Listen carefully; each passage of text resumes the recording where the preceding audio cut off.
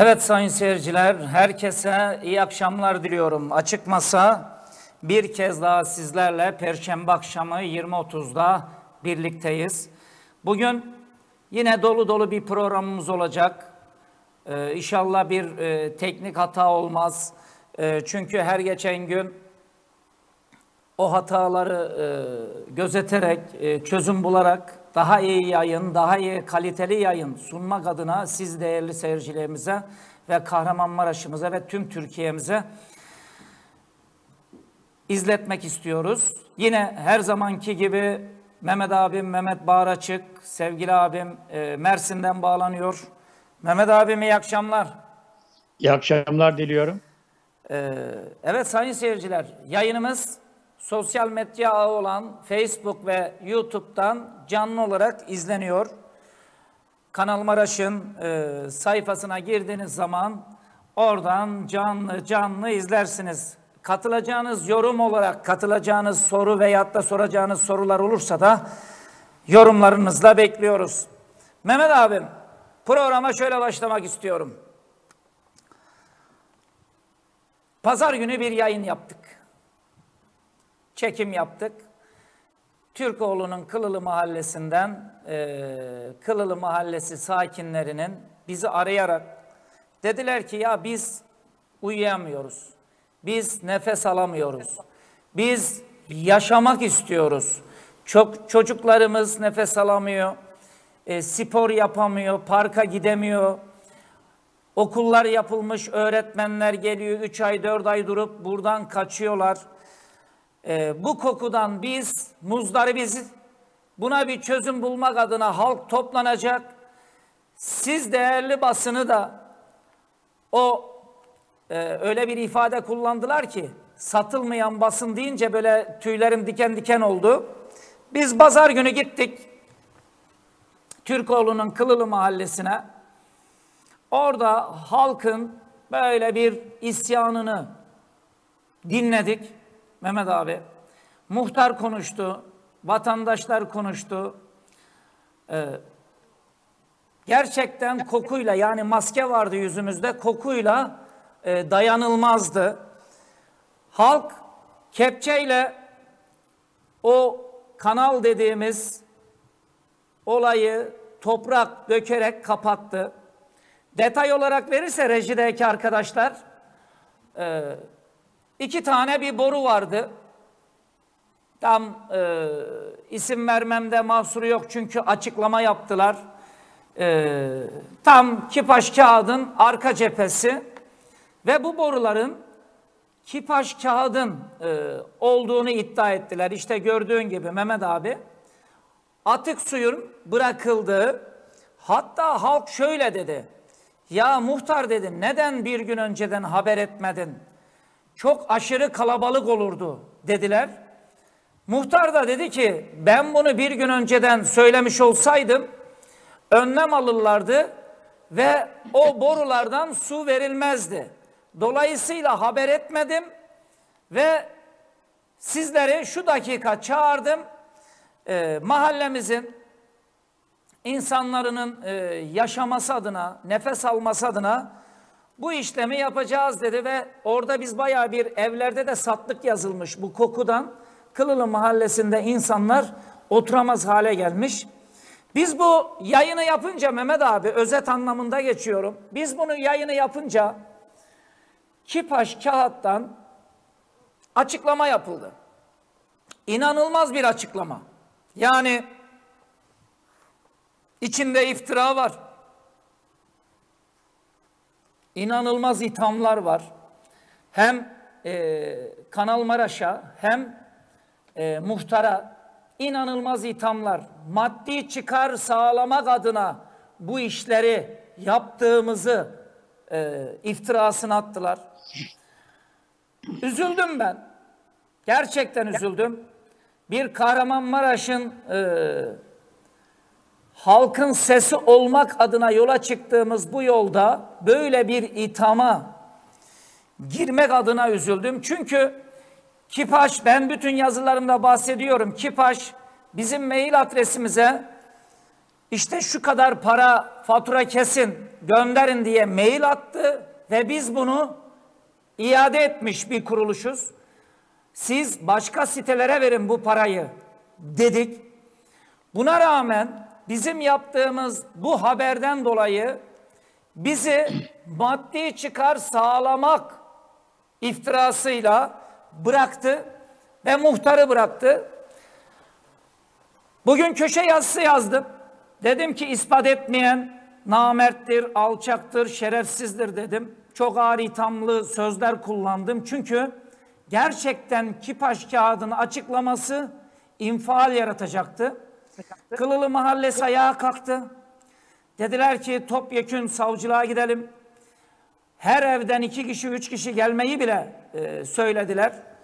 Bugün de yine gittim. Bugün günlerden perşembe yine gittim. İşte gördüğünüz gibi detayda görüyorsunuz Mehmet abi.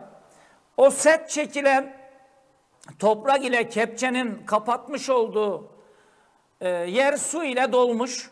Tabii o kipaş kağıdın açıklamasında çok acı bir şey daha vardı. Şu söyleniyordu.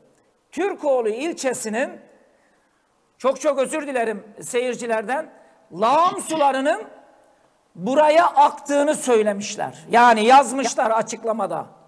Tabii biz Kaski'yi aradık. Türkoğlu ilçesinin böyle bir lağım suları buraya mı akıyor diye. Hayır dedi Türkoğlu'ndaki yetkili. Kahramanmaraş'ın Kaski Genel Müdürlüğü'nü aradık. Kaski Genel Müdürü'nün sahada olduğunu dile getirdi ve şu saate kadar ne Kaski'den ne Büyükşehir'den bir açıklama gelmedi. Yani yazılı bir açıklama gelmedi. Buraya Türkoğlu ilçesinin e, lağım sularının aktığıyla bir açıklama gelmedi. Şimdi dolayısıyla ben de Kipaş kağıda şunu söyledim yazımda. Kardeşim, Hotri Meydan, o borular sizin değilse dedim. Tapayı vuralım o boruya. O borunun geliştiğinde tapayı vuralım. İçeriden de su bırakıldığı zaman kimin olduğu çıkar. Yani bu boru kimin? Ee, güzel bir kameraman e, kurtuluş yakalamış. Elimle gösteriyorum. Bu boru kimin demişim. Mehmet abi biz Kahramanmaraş'ta yaşıyoruz ya. Neden? Tabii bugüne kadar böyle bir basın görmedikleri için e, böyle bir e, şaşkınlık içerisindeler. Neden? Böyle hatalarda çözüm bulmak yerine iftira atıyorlar. Neden yani? Ee, toplum olarak bazı olaylara, gelişmelere, yaşanmışlıklara öyle alıştık ki artık garip gelmiyor bazı konular. Ya da bazı konular hassas davranmıyoruz. Yani artık bizim bu konular bizim konumuz diye bunun üzerinde duramıyoruz. Evet. Niye? Çünkü kanıksıyoruz artık veya kabulleniyoruz. Ya da alışıyoruz. Yani bizi bir türlü alıştırıyorlar. Yani bugün da bundan daha iyi bir durumda değil. Yıllarca söylendi, söylendi, söylendi. Şimdi herkes kanıksadı, alıştı, kabullendi.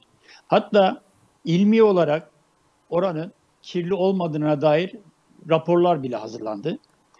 Türkiye'de biz öyle şeylere alışırız ki bizi böyle alıştırıyorlar.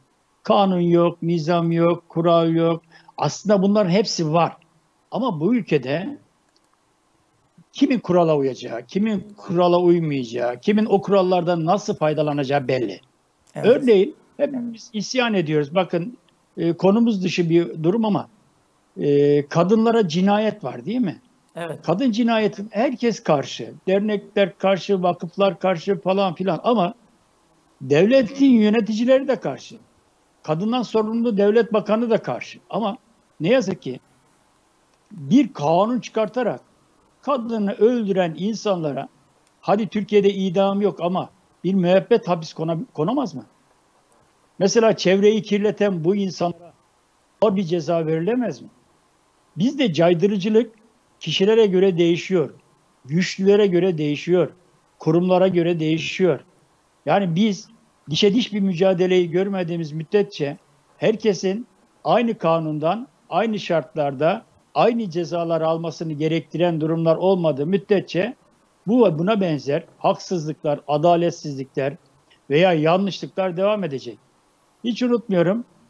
Rahmetli Demirel demişti ki biz terörü demişti. E, demokratik usullerle çözeceğiz demişti. Çözüldü mü demokratik usullerle terör? Çözülmedi. Çözülebilir mi? Çözülemez. Yani biz bunların hepsinin üzerinde demir yumruğu masaya koyacak kanunlar ve bunları uygulayacak insanlar istiyoruz. Şimdi Kipaş Kağıt Türkiye'nin belki de ilk yüzün, ilk 250 hatta ilk 500'ün içinde firmalar olan Kipaş Holding'i kuruluşu. Ya bunların bu tip şeylere ihtiyacı var mı? Bunlar yasalar niye uyması gerekmiyor mu? Bir de e, böyle bir konuyu şu ana kadar gündeme gelmeyip de sizin televizyonda yani bizim televizyonda bunun ortaya çıkması ve bundan sonra da aynı insanların iftira mekanizmasını başlatmaları çok kötü bir şey. Ya şimdi ben e, gündemde Türkiye gündeminde bir konu var. Didim Belediye Başkanı gayrimeşru bir vaziyette filmi var. Elden ele dolaşıyor. Bunu bir basın mensubu yakalamış, gitmiş, görüşmüş. E, mağdur olan kadın mahkemeye gitmiş, mahkemede ifade vermiş, savcılık belediye başkanını çağırmış. En sonunda daha önce inkar eden belediye başkanı e, bütün insanları diyor ki bu gazeteci diyor rantçıların adamıdır diyor. Para karşılığında bize iftira atıyorlar. Biz böyle değiliz, şöyle değiliz, o değiliz, bu değiliz. Şimdi evet. yani siz yapıyorsunuz. Sizin haksızlığınıza karşı birileri delille, belgeyle bir şeyi ispat ediyorlar, ortaya koyuyorlar. Ondan sonra onu koyan insanlara başlıyorlar saldırıya. Yok kimin adamıdır, yok rantçıdır, yok bunun karşılığında para almıştır. Demiyor ki arkadaşlar biz yanlış yapıyoruz, biz haksızız, biz toplumun e, menfaatleri yerine kendi menfaatlerimizi düşünerek efendim e, şu şu şu konularda hata yaptık diyemiyorlar. Niye? Çünkü ucunda menfaat var. Menfaat de onların en e, sevdikleri şey. Kendilerinin menfaatlerine kimsenin dokunmasını da istemiyorlar. Bu şimdi yasa gereği bu kirli atıkları buraya bırakan insanların e, Çevre Bakanlığı tarafından kontrol edilmesi gerekmiyor mu? Basının mı kontrol edilmesi gerekiyor? O muhtarın ille basını mı araması gerekiyor? Kaç defa bu insanlar bu ülkenin şikayetlerini, e, isteklerini yerine getirdiler de neden resmi kurumlar bunlar hakkında işlem yapmadılar? Yani bu Türkiye'de biz artık bazı şeylere çok kanıksadık ya. Çok alıştık. Yanlış yapanlara alıştık, haksızlık yapanlara alıştık, hırsızlara alıştık, namussuzlara alıştık. Ya tarikat şeyhi, tarikat şeyhi bir vatandaşı müridinin kızına e, tacizde bulunuyor. Utanmadan diyor ki ya diyor sen diyor Ebu Bekir ol. Kendisini Hazreti Muhammed'in yerine koyuyor. Sen de diyor Ebu Bekir ol da kızını bana ver diyor. Yani kızını peygamberimize Ebu Bekir verdi diye. Ya biz bunlara kanıksadık artık. Alıştık ya. Ya bunun CHP'lisi, MHP'lisi, AK Partilisi iyi yok artık. Her partide, her yerde, her kurumda bunlar var. Ve toplum olarak biz bu yanlışları gözümüzün önünde oynanan bir film gibi bakıyoruz ve izleyip geçiyoruz.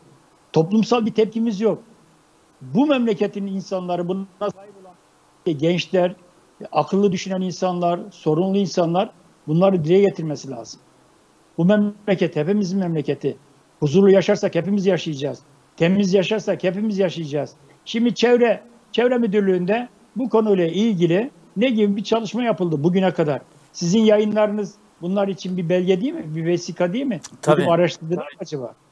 Yani Tabii. bunu bu bunlar bu ülkenin senin benim yani e, çevremizi koruması için devletin görevlileri devlet bu insanlara maaş veriyor. Devlet bu insanlara görev veriyor. Bu ülkenin diyor çevresini siz koruyun diyor. Ama her tarafımız pislik. Her tarafımız kokuşmuş. Yani nasıl bir şey olacak? Ben e, bütün bunlara bazen isyan edesi geliyor. insanı da edemiyor işte. Yani biz artık bu ülkede bazı şeylere kanıksamayalım, bazı şeylere alıştırmayalım, alıştırmasınlar bizi. Esrar gibi, eroin gibi, bazmarfon gibi diyorlar, uyuyoruz. Burada da kamplaşma var. En güzel e, sistemi de bulmuşlar. Şimdi siz bu e, mesela diyelim ki bu kamplaşma sadece siyasi de değil. Mesela muhtar size ne dedi? Abi dedi fazla insan çağırırsam kalabalık oluşturursa Vana'nın suyunu kesiyorlar dedi değil Bir mi? gün önceden haber edersem. Bir gün önceden haber edersen o da herkese haber verirse değil mi? Niye Evet. oluyor bu? Çünkü o fabrikada çalışan ajan provokatörler var. Evet. Kendi çalıştığı bak. Şimdi or- orası bir iş yeri. Herkesin alın teri emeği tamam o ayrı ama kendi bulunduğu mahallesindeki insanların sağlığını ve sosyal refahını düşürecek, insan gibi yaşamayı engelleyecek bir durum karşısında o mahallelisini satan insanlar var. Hainler var, provokatörler var. Niye?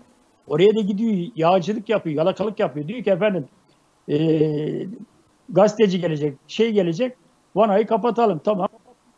O da biliyor ki oradan vananın aktığını.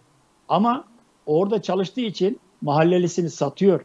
İşte biz bu tip insanlarla bu toplumda yaşıyoruz.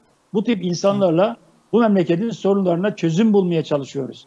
Yani bu e, A partisi B partisi değil. Şimdi diyelim ki Kipaş'ta çalışıyor diye bu insanlar bir grup oluyor. Ama Kipaş'ta çalışmayan da diyor ki bu pisliktir. Ben pislik e, yapamam diyor. Ama kimse demiyor ki ya bu yapılan şey yanlıştır. Çevreye aykırıdır. Kardeşim vicdanlı davranalım. Biz ya bir Kipaş'ın 3 kuruşa, 5 kuruşa, 10 kuruşa ihtiyacım var. Türkiye'nin sayılı Türkiye'nin bir numaralı kağıt fabrikası Avrupa'da sayılı bir fabrika. Yani kar ediyorlar. Allah daha da ziyade etsin. Yani bunun karşılığında da niye Avrupalı gibi biz bir e, kanun çıkartamıyoruz veya çıkarttığımız kanunu uygulayamıyoruz? Mehmet Bakın abi. benim Ee, Mehmet abi e, öyle bir e, e, açıklamanın içinde facia var ki e, açıklama şu şunu söylüyor. Biz diyor drenajda drenaj borusundan direkmen Aksu Nehri'ne veriyoruz diyor. Şimdi orada ne bir e, arıtma şeyinden bahsediyor. Hiçbir şeyden bahsetmiyor. Direkmen drenaj yaparak borularla Aksu Nehri'ne. Aksu Nehri nereye gidiyor abi? Aksu Nehri niye kirli? Yıllardır niye konuşuluyor? Şimdi bu sadece Kipaş'a ait değil. Ee, biraz önce e, vatandaşın biri aradı. Dedi ki Kahramanmaraş'ta 2-3 tane fabrikanın nasıl borularının Aksu'ya verildiğini ben size delilleriyle getireceğim dedi. Çok büyük fabrika bunlar. Yani Kahramanmaraş'ta çok büyük fabrika ve önümüzdeki hafta gizli, bu gizli ar- boruların. Aynen. Gizli Bu, borular. ar- bu arkadaşları, bu arkadaşı delilleriyle birlikte yani o görüntüler hangi nereden boru, kaçak boru yapmışlar, e, bypass nasıl yapmışlar, o boruları Kanal Maraş'ın açık masa programında önümüzdeki hafta e, abi beni çıkart dedi. Ben delilleriyle birlikte ortaya koyayım dedi. Ben de hay hay dedim. Açık masa buyur gel. E, siz de duydunuz yayına girmeden önce Mehmet abi. Yani Evet. ya bu bir facia facia. Yani fabrika olabilir, fabrikaları olabilir insanların. Biz saygı duyuyoruz. Ama insanların da bir yaşam hakkı var. Nefes alma hakkı var. Çoluğunun çocuğunun yaşama. Mehmet abi şimdi diyelim ki aldığım bilgi şu. Bir kağıt yani kipa şahit demiyorum. Bir kağıt fabrikasının bulunduğu çevrenin 5 kilometre çevresinde yerleşim alanının olmaması gerektiği söyleniyor. Neden? 5 kilometrenin dışında yaşam alanı olması gerektiği söyleniyor. E şimdi Kipaş Kağıt Kılılı Mahallesi'nin hemen hemen işte bulunduğu yerde, Türkoğlu ilçesine bulunduğu yerde dolayısıyla erkeklerde çünkü selüloz diye bir madde varmış bu ağaç veyahut da kağıt yapılırken bir kimyasal madde kullanılıyormuş. Evet. Er- erkeklerin erkeklerin e, çok çok özür dilerim e, sperm e, azlığına sebep veriyormuş. Kadınların da meme kanseri olması yönünde bunu doktorlardan aldığımız bilgi. Şimdi e, hem böyle bir fabrika olacak hem kanala her kim atıyorsa Kipaş mı atıyor, başka fabrika mı atıyor, kim atıyorsa atık suyunu boşta bırakacak, insanları nefes alama, alamayacak duruma getirecek. Ondan sonra da çıkacak, sözde gazetecilik olarak bizi lanse edecek yaptığımız haberden dolayı ve maddi çıkar sağlamakla bizi ithamda bulunup iftira atacak. E yok böyle bir dünya Mehmet abi. Kusura bakmasın kimse. Ee, şimdi bu, bu kanunlar var değil mi? Çevreyle ilgili kanunlar var. İnsanların çevreyi kirletmemesi var. Çevre Peki, müdürü yerinde kanunlar- oturuyor abi. Bu kanunlar niye uygulanmıyor? Bu insanlara niye uygulanmıyor? Bak çevreyle İşte ilgili en büyük sorun bu. Bu Bak, insanlara niye bu uygulanmıyor? ülkede Türkiye'de garibanlara, halka, efendim e, iktidar e, yandaşı olmayanlara veya e, zengin olmayanlara veya kabadayı olmayanlara veya makam mevki olmayanlara uygulanmayan e, şeyler, kanunlar halka uygulanıyor. Ya çok komik. Kırmızı ışıkta dururken önümdeki arabanın şöyle bir resmini çektim e, telefonla. E, bir kilometre ileride e, telefonla konuşuyorsun diye 281 lira ceza yazdılar. İspat edemezsin. Yani ben vatandaş olarak bu cezayı yiyorum da bunu bir başkası yemiyor işte. Yani biz çok cezalar yedik. Biz çok cezaların yememesi sebebi çok dayak yedik, çok e, tokat yedik. Bizim bu insanlar gibi güçlü olmamamızdan dolayı. Biz de güçlü olsak bu cezaları yemiyoruz. Yani neden bu kanunlar herkese eşit uygulanmıyor? Neden Sen uygulanmıyor orada- abi? Yani parası olana e, herhangi bir müye- yani ben geçen pazar günü o çekimde şunu söylediler. Çok acı bir olay. E, muhtar diyor ki ve halk şunu söylüyor. Ya kardeşim diye çevre müdürlüğüne söylüyoruz, telefon açıyoruz, resim çek, at. Benim ekmeğimle oynama. Ya arkadaş, seni müdür olarak oraya atamışlar. Şimdi seni müdür olarak atadıysa sen halkın sağlığı adına gerçekten işlem yapmak zorundasın. Bu A, B, C firması önemli değil. Önemli değil. Yapmak zorunda. Yani enteresan. Ya Mehmet abi inanılmaz ya gerçekten var ya ben e, çocukluğumda Kılılı'ya giderdim. Orada yayın balığı tutardık o sularda. Yani yüzerdik. Hatta e, yaşlılar diyor ki içerdik bile içerdik diyor. E şimdi hayvan e, sulanamıyor. E, zaten kokudan insanlar e, artık mahalleden gitmeye başlamış. Acı bir olay. Parayı veren parayı veren düdüğü çalar diye bir e, tabirimiz var değil mi? Parayı veren düdüğü evet çalar. Nasrettin Hoca'nın. Kahramanmaraş'ta da parayı bunlar verdiğine göre düdüğü bunlar çalıyor.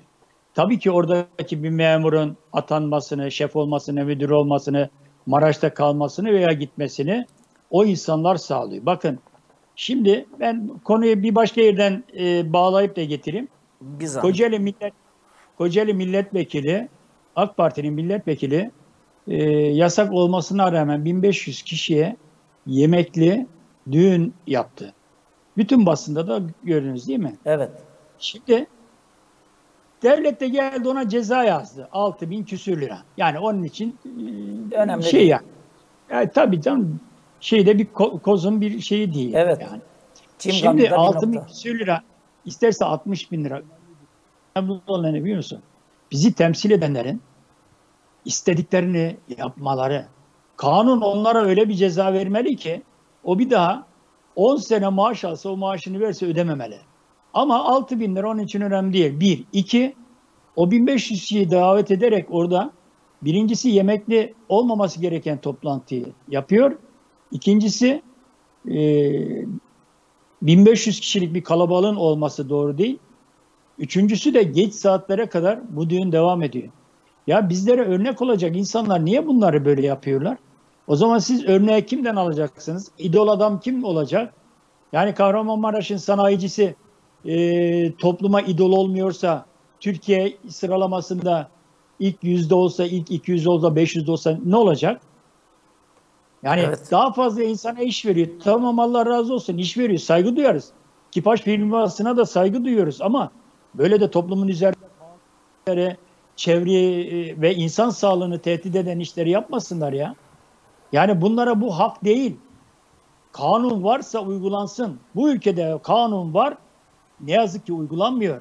güçlülere uygulanmıyor, zenginlere uygulanmıyor, kabadayılara uygulanmıyor, makam mevki sahiplerine uygulanmıyor. Siyasi güçler ya o gün siyasi gücü derken bir servis dağıtıcı polisin kimlik göster dediğinde göstermiyor. Teşkilat arıyor. Ne teşkilatı ya? Yani o güçlü polise bile direnebiliyor. Bir kurye, bir dağıtıcı, bir servis. Ya Türkiye'de artık bilek gücün varsa tamam mı? Evet. Sen kanunların da üstünde bir adamsın. Makam mevkin varsa birinci sınıf adamsın. Sen iktidarın, siyasetin bir yerindeysen birinci sınıf adamsın. Kanunlar sana işlemiyor. Zenginsen hangi partiden olursan ol, CHP'li ol, HDP'li ol, AK Partili ol, MHP'li ol, zengin, birinci sınıf bir insansın ya. Sana kanun, yönetmelik, e, düzen yok. Şimdi burada Kahramanmaraş'ta şu olayı bir basın olarak senin mi tespit etmen gerekir? Devletin oradaki kadrosundaki görev alan Çevre İl Müdürlüğü ve onun görevlendirdiği insanlar mı bu konuda gidip de bu e, tutanak yapıp olayı gün yüzüne çıkartması gerekir? Yetkililerin ortaya çıkarması gerekir. Bu Bizim memlekette değil. vali yok mu? Bu memlekette o bölgenin kaymakamı yok mu? Yani Acı- devleti temsil eden yere yöneticiler yok mu? Yani onu soruyorum. Maalesef, e, maalesef Mehmet abi gerçekten Büyükşehir'den cevap alamadım diyorsun. Büyükşehir niye cevap vermiyor? Bu atık sularla ilgili su, kanalizasyon ve atık sularla ilgili KASK ilgilenmiyor mu bu konularla? Abi kask ilgileniyor. Zaten olay şu. Kipaş Kağıd'ın yaptığı açıklamadaki iddia şu. Bu su diyor Türkoğlu ilçesinin lağım suları. Açıklama ortada. Evet. Yani Kipaş Kağıd'ın açıklamasının e, altını çiziyorum. Diyor ki bu su Türkoğlu ilçesinin lağım suları. E şimdi buna kim cevap verecek? Kanalizasyon. KASK. Kaski cevap verecek. E Kaski Genel Müdürü fotoğraf çekip sosyal medyada paylaşıyor. Ne için? E, işte bilemiyorum genel müdür yardımcısı bilmem bir yerde gidiyor su kaynağından resim paylaşıyor. E şimdi ya e, koskoca Kipaş kağıt suçlama yapıyor. Diyor ki bu lağım suları e, Türkoğlu ilçesinin bizim değil diyor. Adamlardan ses çıkmıyor. Büyükşehir Belediye Başkanı da skotere biniyor. Skotere biniyor, bisiklete biniyor. Ee, ne bileyim e, yaylaya çıkıyor, e, bekmez karıştırıyor. Ya burada halk halk zehirlenmiş, ölüyor. Uyuyamıyor. Sözümün, baş, Ya böyle bir şey var mı Mehmet abi ya? sözümün başında söylediğimi unutma. Bütün bunların hepsini idari mekanizma, vali, belediye başkanı, cumhuriyet savcıları, e,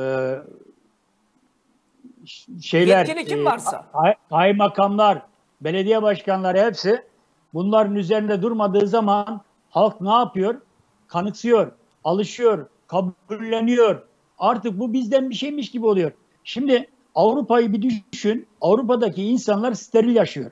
En küçük bir mikropta adamlar hasta oluyor. Biz affedersin zibillikte yaşıyoruz. Mikropların içinde yaşıyoruz. Biz bağışıklık kazandık. Kolay kolay da ölmüyoruz. Yani bağışıklık kazandığımız için. Şimdi Allah rızası için şu Avrupa'nın hangi ülkesinde şöyle bir atık suyu insanlar e, çevreye bırakır, dereye bırakır da gönderir ya? Bana bir İmkanı tanesi var mı? E bu memlekette o zaman e, vali yok mu? Bu memlekette çevre müdürü yok mu? Bu memlekette kaymakam yok mu? Başkanı yok mu? Kanalizasyon idaresi yok mu? Ya bunlara seslenelim artık. Bunlar Şimdi çıksın devreye. Mehmet abi Başka tam yeri. çıkmasın? Mehmet abi tam yeri.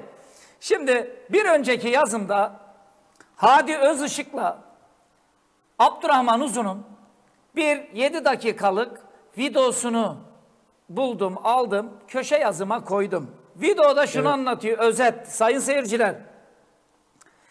2002 yılında diyor, AK Parti geldiğinde 30 katlı binanın birinci katındaydı diyor. Aşağıdan halk seslenince birinci kattaki yetkililer duyuyordu. Halkın o sesine kulak veriyordu ve çözüm buluyordu. Yıl 2007 oldu diyor. AK Parti 8. 9. kata çıktı diyor. Alt kattan en yoldan geçen halk sesleniyor. İşte kulak kapar diyor. Çöp mü? E, işe mi girecek? Bilmem ne. Yıl oldu 2011 diyor. AK Parti 15. kata çıktı. Bu sefer e, aşağıdan bağırana ne diyorsun sen? Çöp mü diyorsun? Öp mü diyorsun? Falan filan. En sonu 2019 yılına 2020'ye geldik diyor. AK Parti çıktı 30. kata. Aşağıdan halkın konuşmaları din duyulmuyor. Genel başkan bazen halkın içine çıkıyor. Kahvaneye gidiyor, taksi durağına gidiyor, halkla birebir oluyor. O birinci kat ile 30. kat arasında oturanlar var ya diyor. AK Parti Genel Başkan Yardımcıları, işte belediye başkanları, il başkanları her neyse. Genel başkana diyor halkın sesini duyurmuyorlar, çıkarmıyorlar o 30. kata. Genel başkan da 30. kattan diyor balkona çıkıp şöyle aşağıya bakıyor. Halk e, bir şey söylüyor ama duyulmuyor ya. İşte AK Parti bu konumda diyor. Bunu söyleyen kim biliyor musun Mehmet abi? Hadi Özışık ve Abdurrahman Uzun. Bu iki isim medyada AK Parti'ye destek veren isimler olarak biliniyor. Şimdi bunlar böyle konuşunca bir şey yok. Mustafa Karas'tan köşesinden eleştiri okunu il başkanına, büyükşehir başkanına vurduğu zaman eleştiri oklarını abo Mustafa Karas'tan AK Parti düşmanı lanse ediliyor. E şimdi bir tarafta Hadi Bey, Abdurrahman Bey'in konuştuğu video orada. Köşe yazımda da linkini verdim, yayınladım. Biz de Kahramanmaraş'ta yaşıyoruz. Egılılı mahallesine gitmişiz, sorunu çekiyoruz. İnanır mısın bugün benim bir oya en aşağı 10 tane vatandaş geldi Mehmet abi. Hepsi sorununu anlatıyor. Ben diyorum ki ben sorun çözüm yeri değilim. İşte Büyükşehir Başkanı var. İşte valilik var. Abi diyor biz sesimizi duyuramaz olduk. Aynı Hadi Özışık, Abdurrahman Uzun hikayesi gibi. Duymuyorlar sesimizi abi diyor. Sen yazıyorsun, konuşuyorsun, çekinmiyorsun. İnanır mısın dışarıda oturuyordum Mehmet abi. Ee, sandalyeye attım bir çay içiyorum. Vatandaşın biri böyle 40 yaşlarında. O da e, bir üniversitede yetkili. İsmini söylemek istemiyorum. Buradan da selam olsun. Durdu. Döndü. Birader kapıda. Ben dışarıdayım. Ya dedi şu ön senin dedi. Haberini dedi. Siz mi yaptınız Aksu mu dedi. Durdu durdu. Yok ya siz yaptınız Aksu yapamaz dedi. Ben de oturuyorum çayı yudumluyorum. Evet dedim. Ya o adam kim dedi ya? Ne yapacaksın dedim. O adama sarılıcım bir dedi. E, o adam benim dedim. Dedi ki Allah ocağına bağışlasın seni dedi. Oraya üç tane büz koymuşlar köprü yaptık diye dedi. Lanse ediyorlar. iki gün sonra yolu kapatıyorlar.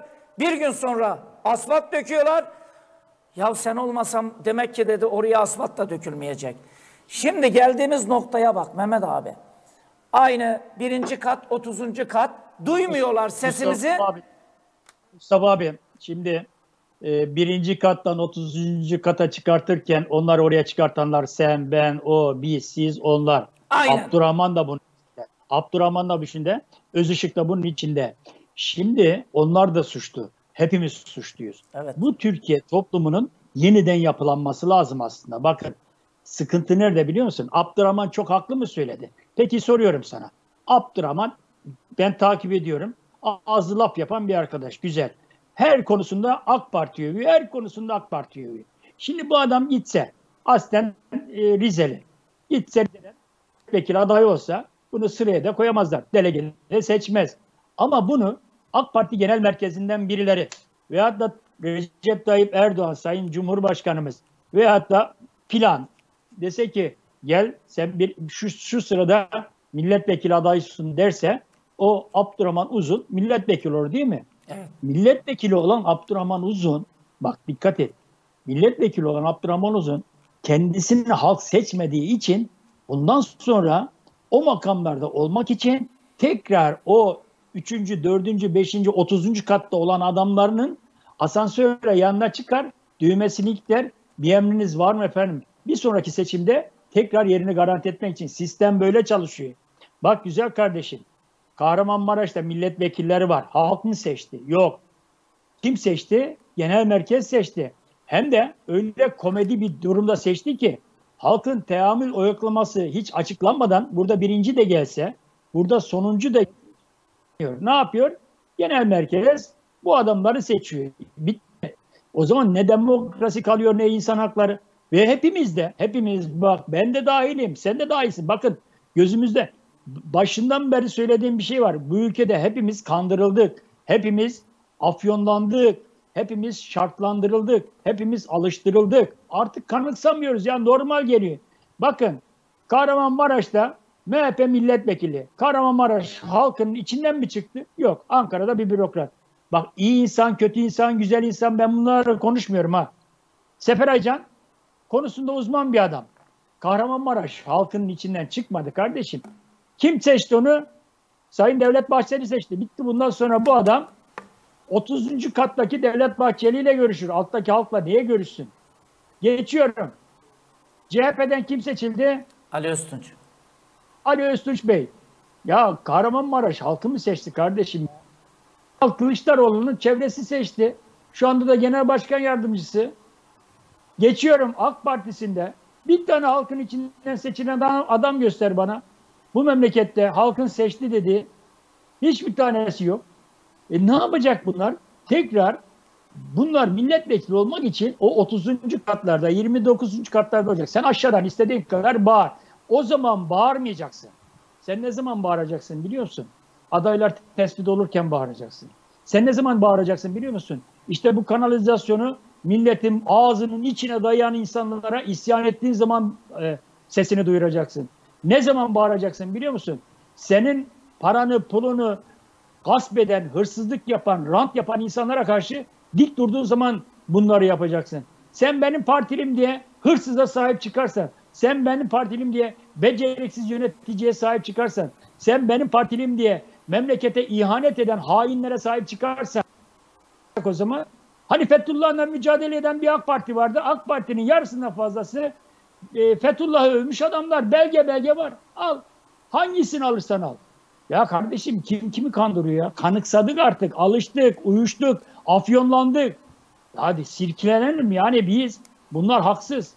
Ya Fatma Şahin'in FETÖ'nün elini ayağını öpmedi kaldı ya. İstanbul'daki Esenler Belediye Başkanı Göksu'nun, Tevfik Göksu'nun FETÖ hakkında yazdıkları tweetler, beyanatlar var ya. İstanbul seçimini organize eden o milletvekilinin konuş... Ya hepsi var kardeşim bunlar. iftira değil, hakaret değil bilmem ne. Bunların hepsi de AK Parti'de duruyor ya. Mücadele. Neyle mücadele? Ya biz ne yapıp... Ya bu ülkede biz her şeye alıştık ya. Yani bence o 30. kattakilerin suçu yok. Onlar oraya çıkartan bizlerin suçu var. Dönüp kendimize bakalım. Ben şimdi e, eleştirsem AK Partili bana diyor ki abi sen AK Parti'den ayrıldın mı? Ya kardeşim niye AK Parti'den ayrıldık mı ayrı? Bununla ne ilgisi var? Bu konu doğru mu yanlış mı? Sen buna bakacaksın ya.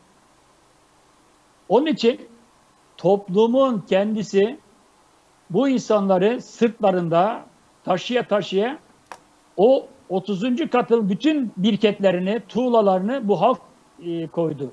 Onlar koydukları için onlar 30. kata çıktı. Eğer 30. kata çıkacak tuğlayı halk getirmeseydi onlar hep birinci katta kalırdı. En bak büyük... sana bir Evet, evet Mehmet abi dinliyorum. Bak sana bir bak ters ters açıdan bir şey e, şey yapayım. Kemal Kılıçdaroğlu'nu dinledin mi sen? Ne zaman? Yani Ke- Kemal Kılıçdaroğlu'nun bir şeyi var. Konuşması Hangisi bu? var. Kahve oyun Kahveyle olayı. ilgili. Evet. Evet. Yani Allah Allah'ını seversen yani sen hiç, bunu e, aklın yatıyor mu bak? Bak bak dinle. He. Kağıt oynamak yasak diyor. Her oyunda bir sıfır kağıt verin diyor. Ya biz bunları yönetecektik ya. Şimdi bunu CHP'li gider eleştirir mi? Allah aşkına ya. Bir CHP'li gidip de Ya bu genel başkan ne söyledi arkadaş? Yanlış söyledi. Her kahveyi açtın diyor. Kağıt oynamak yasak. Ne yapacaksın diyor. Her oyunda bir ke- sıfır kağıt vereceksin diyor. Ya adamın var ya bunda kimse düşünmedi diyor. İlk defa da kendi düşünüyor. Yani uzaya bir şey, araç bulmuş gibi bulmuş adam. Bunu açıklıyor. Yani hepimiz farklı değiliz kardeşim. Aynı geminin içinde kimisi CHP'li, kimi MHP'li, kimi İyi Partili, kimi AK Partili, kimi Doğru Yapa fark etmiyor. Fark etmez petrol Şimdi- gibi fark etmiyor. Şimdi biz Fark getirdik etmez. bunları dedin ya Mehmet abi. Biz getirdik dedin ya Evet, 30. kata biz getirdik. çıkarttık dedin Tabii ya. biz çıkarttık. Şimdi geçen Dolarları hafta biz- geçen hafta AK Parti'nin e, ilçe kongreleri yapıldı. İnanır mısın? E, WhatsApp'tan mesaj atan atana diyor ki milletvekili il delegesi olmuş. Eski milletvekili. Yani Evet. AK Parti'de daha önceden milletvekilliği yapmış insan il delegesi olmuş. Güldüm ben de. Dedim ki eski bir milletvekilinin il delegesi olması AK Parti'ye kaybettirir işte, kaybettirir kardeşim. Siz oraya halktan birini il delegesi olarak koymazsanız işte AK Parti kaybeder. Kandırmayın insanları. Tek adaylı seçime gidiliyor. Eski milletvekili il delegesi oluyor. E halk nerede? Vatandaş nerede? E şimdi ondan sonra da diyorlar ki AK Parti'den işte bir kaçış başladı. AK Parti'nin oyu düşüyor. Ee, e düşer tabii.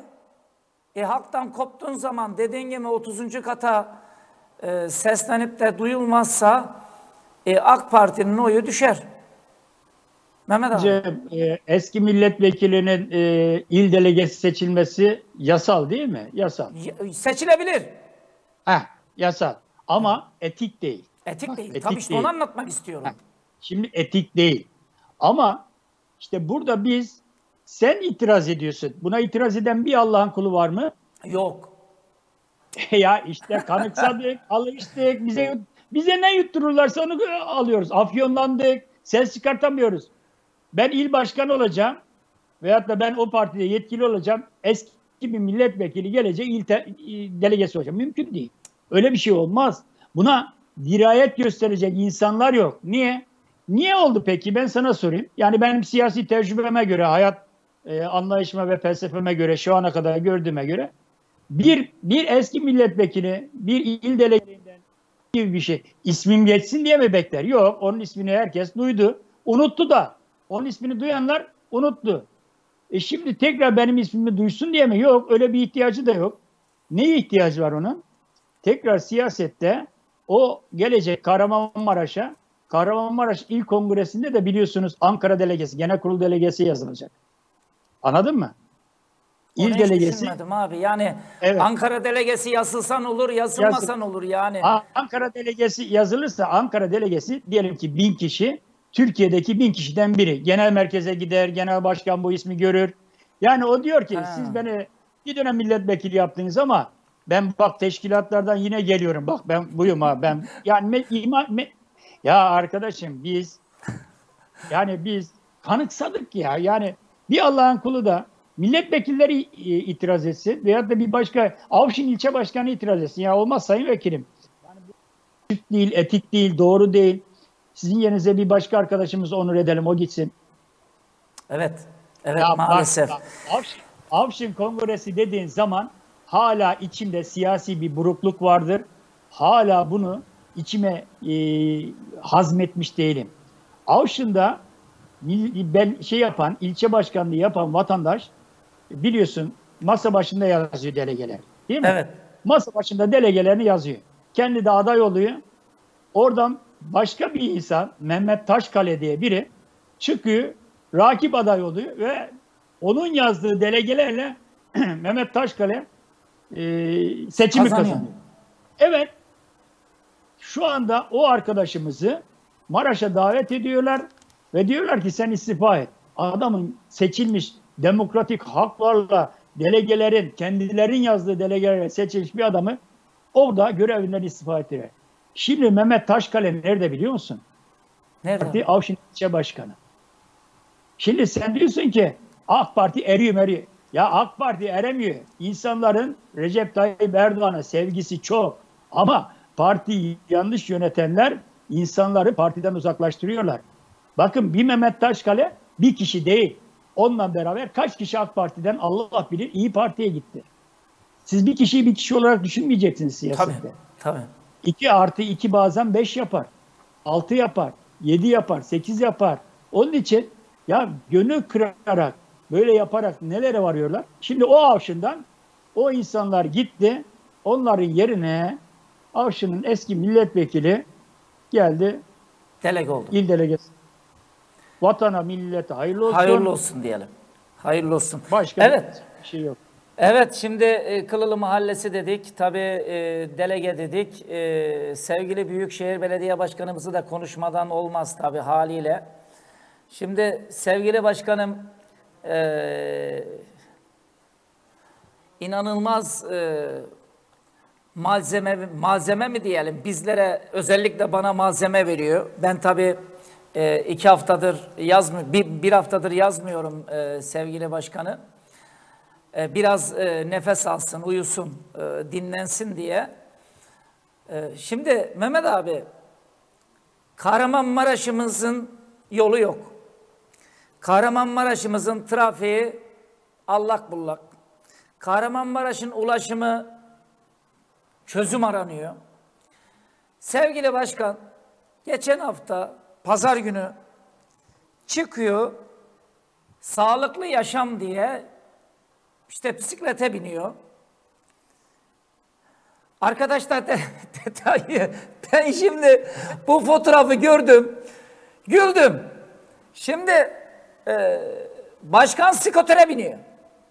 E, bisiklet e, binmiş insanlar. Bisikletin birinde de iki kişi var. Onu da şöyle yeşil e, renkli çıkarttık. Şimdi Mehmet abi e, bugün de e, sosyal medyasında e, sevgili başkan e, Şire kazanını karıştırıyordu. Onu paylaşmış.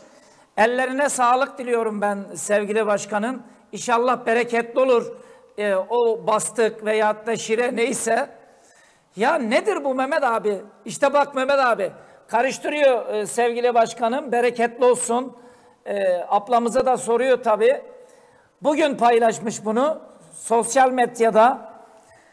Ya Mehmet abi bizim Kahramanmaraş'ımızın sorunu mu yok? Sorunsuz bir şehir miyiz? Ee, yok bisikletti. 17 kilometre bisiklet yolu. Yok bisiklete binelim, skoter getirelim, skoteri işte vatandaşa verelim.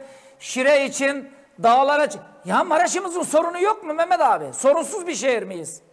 Şimdi burada e, bir şeyi dikkatimi çekti. Hem bisiklete binerken hem de şıra yaparken Sayın Başkan maskeyi takmış.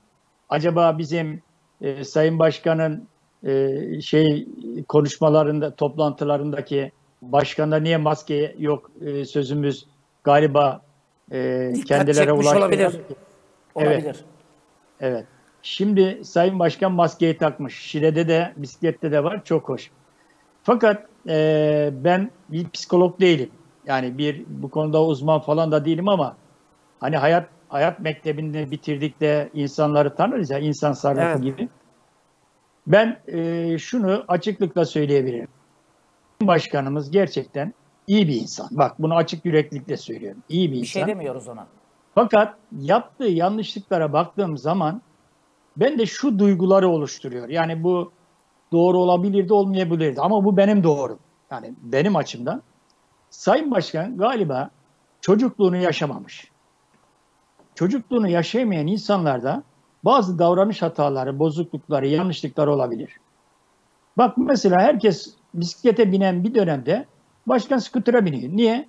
Eğer bisiklete binmesini bilmiyorsan skutura da binme. Çünkü oradaki etkinlik Avrupa Hareketlilik Günü.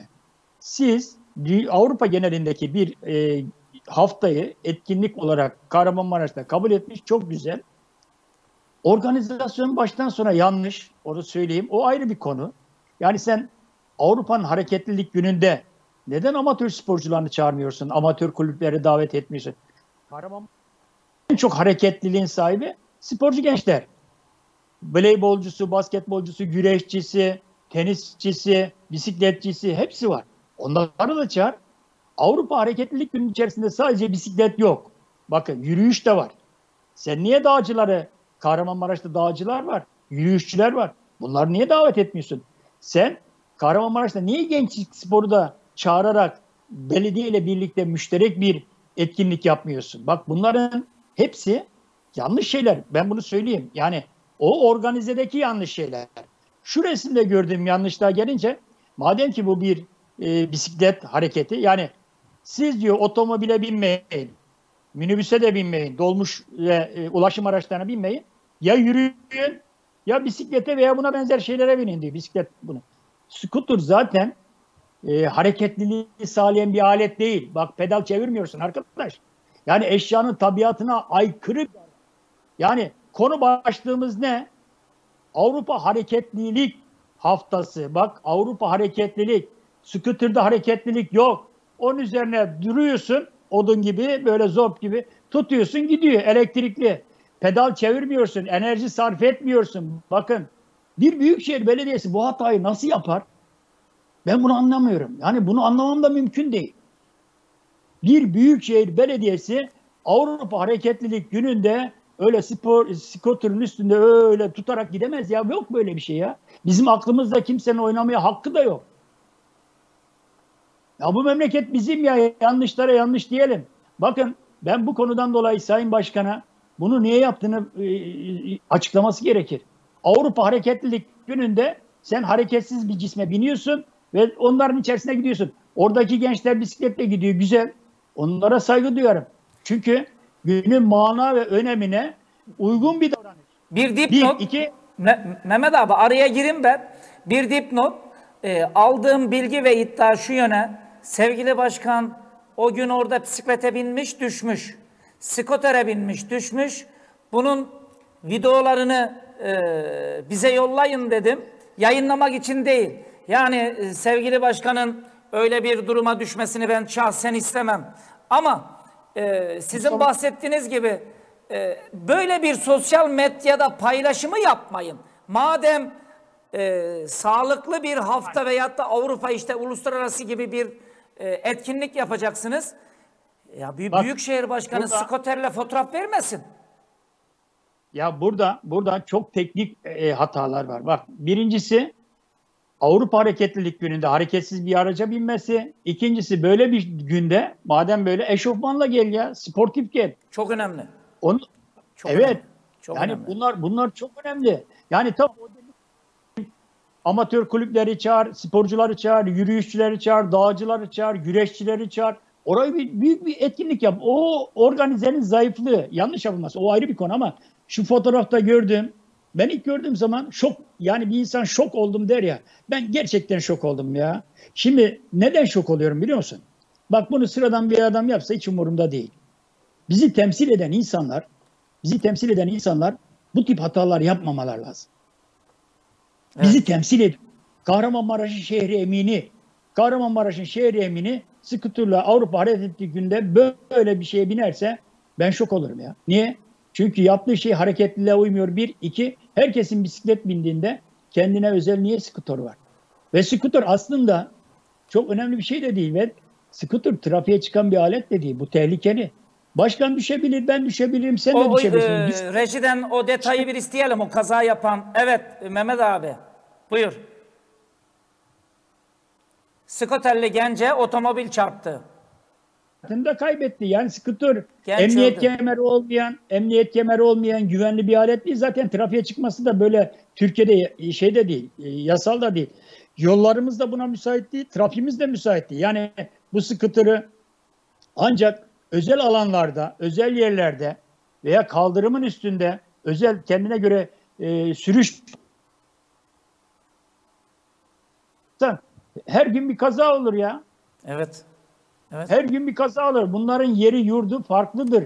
Ama bütün onlar da ayrı bir şey. Bütün onlara rağmen ben bir belediye başkanının Avrupa Hareketlilik Günü'nde hareketsiz bir e, cihaza binmesi ve bununla da e, sosyal medyada paylaşması bizim aklımızda dalga geçiyor gibi geldi. Çocukluğunu yaşayamamış dedim. Yani ben Sayın Başkan ilkokuldan itibaren ders okulla ev arası, okulla ev arası. Sonra işte üniversiteye gitmiş okul ev arası. Ondan sonra memur olmuş daireyle ev arası. Daireyle ev arası. Ondan sonra işte müdür toplantıları, daire başkanı toplantıları, bakan toplantıları hep gitmiş elinde dosyalar, dosyalar, evraklar falan. Böyle skutura binmek bilmem ne gibi olmak. Bak ben sana bir e, geçmişteki hatıramı anlatayım. Bak bunu biz de yaşadık. Ben çocukluğumu doya doya yaşayan insanlardan biriyim. Ama biz hep sporla ilgili çocukluğumuzu yaşadık. Ben evlendim, çocuklarım vardı küçük küçük. Bir Commodore 64 diye bilgisayar çıkmıştı. Commodore 64. Evet, evet. Bilgisayar falan değildi. Sadece iki tane veya üç tane bir oyun vardı. Kasetini takıyordun. Koca bir kaset takıyordun ona. Oynuyorduk. Nedir biliyor musun o oyun? Bir tanesi. Ve ben bununla sabaha kadar oynardım. Sabaha kadar. Çocuk falan da değilim ha. Bir uçak gibi bir şey geliyor. Onun üstüne bir adam atlıyor. Nokta bir yer var. Aşağı inecek. Rüzgar da var. Sen o rüzgara rağmen o paraşütçüyü o noktaya indireceksin. Ya şu anda var ya verseler bir defa oynamam. Yani bugünkü yaşında bir defa oynamam ama o zaman var ya sabahlara kadar oynardım ben bunu ya. Sabahlara kadar. Çünkü bizim çocukluğumuzda teknoloji yoktu. Bu tip oyunlar oynayamadık. Çocukluğumuzda biz bunlardan mahrum kaldık. Futbol oynadık, sahaya gittik. Tamam bir topumuz vardı, takımımız vardı, takım arkadaşlarımız vardı. Bu da tek futbol oynamadık. Voleybol oynadım ben, masa tenisi yaptım, basketbol oynadım. Sporun her tarafında vardım. Ama onlar yetmiyordu. Böyle bilgisayar oyunları bize... Şimdi başkanı da böyle düşünüyorum ya. Mesela diyelim ki ilk zaman bir şey e, verdi yine böyle. Bir evin içerisinde küçük bir çocuk kaleci yapmış. Böyle arkasından topa vurarak ona gol atacak. Yani ona bir penaltı çekecek gibi salonda, evin salonda. Ya bir büyükşehir belediye başkanına bunlara gerek yok. Bunları Tabii paylaşmasına gerek yok. Orada yapabilir Gerek çocuk yok. yani yapabilir. Paylaşmasına gerek yok Mehmet abi. Ya tabii bunlar paylaşılacak şeyler değil ya. Biz bizim ondan beklediğimiz bunlar halk adam olması, bizden biri olması falan bunlar bu değil ki. Bu değil ki. Yani halk adam olması üniversiteden dört tane kızı yemeğe götürüp de giderken de ya başkanla yemek yemekle çok heyecanlanıyor musunuz, ne yapıyorsunuz falan demesi değil ki. Ne soruyorsun?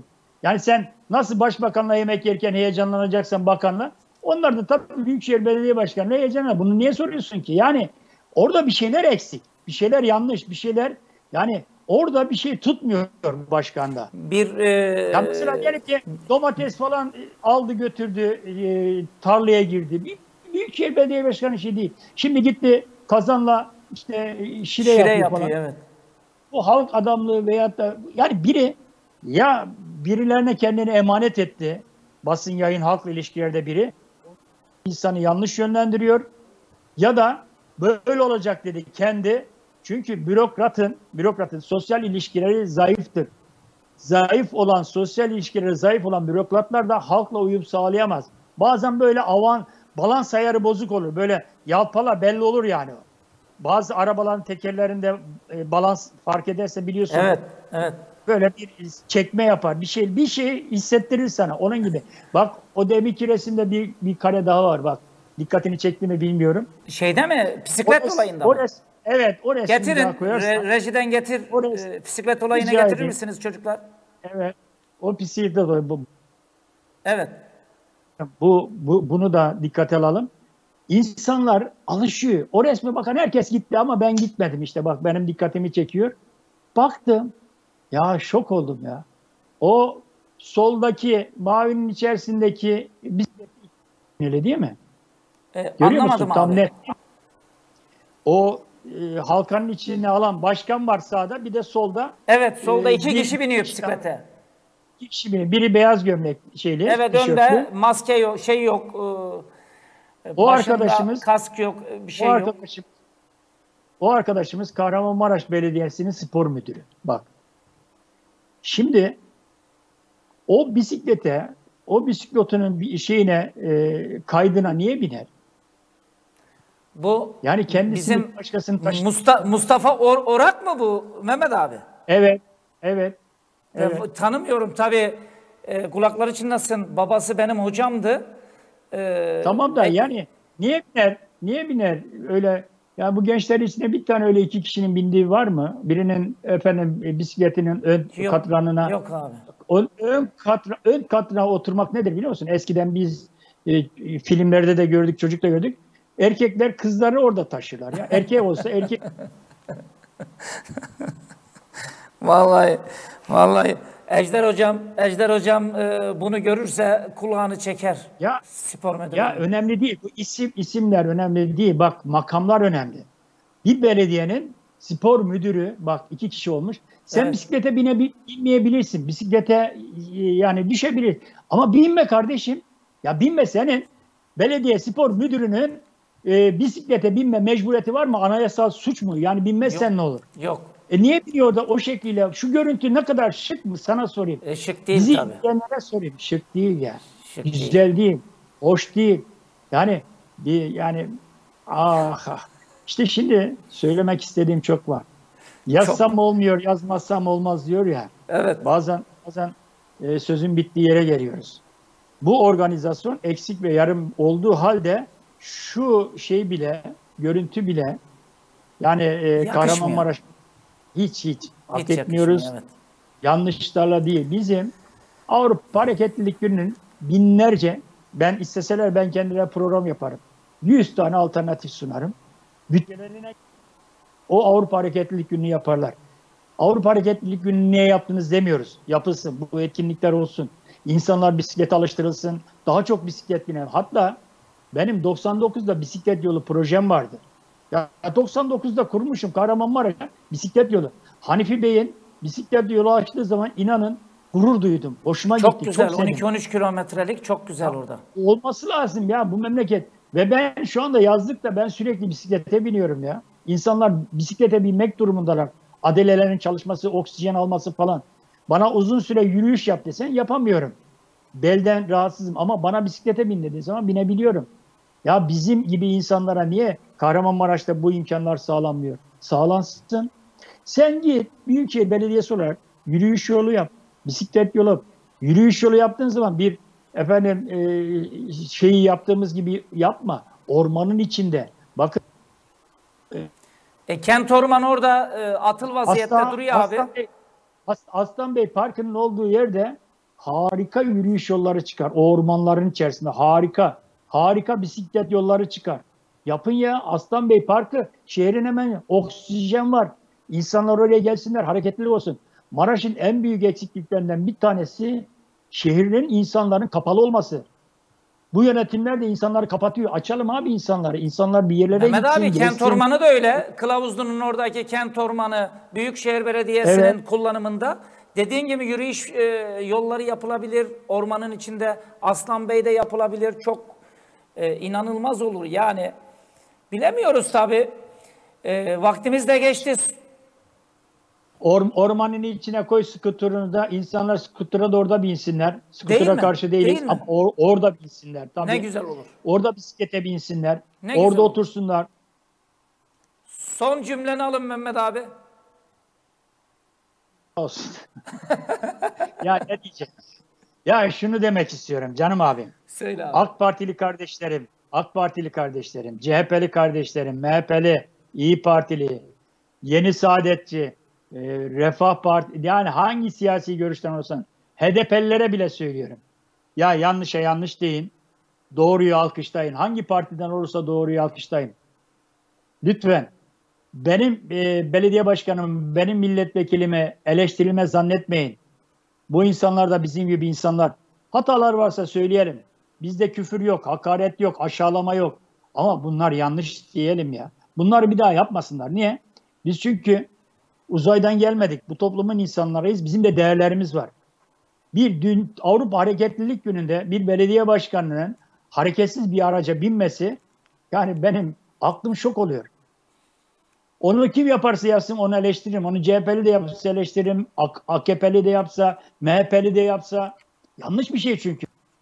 Bunu AK Partili de yanlış diyebilmeli. Kesinlikle.